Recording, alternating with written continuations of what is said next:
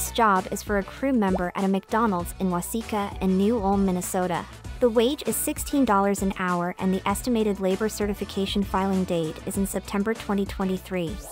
These are both smaller towns, about 1 to 1.5 hours away from Minneapolis. These areas have a low cost of living and a great small town lifestyle. You should be prepared for cold weather in the winter.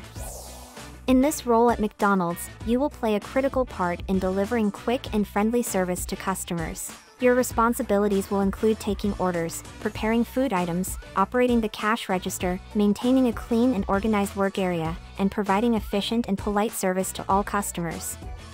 To reserve your spot, log into your BDV Solutions account. Once you move through the onboarding steps, you will see all of the current job offerings. Select the job and your spot is reserved for 7 days.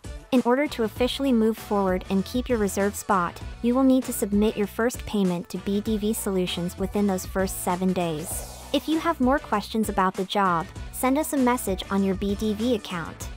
BDV Solutions. Together, we make the American dream possible.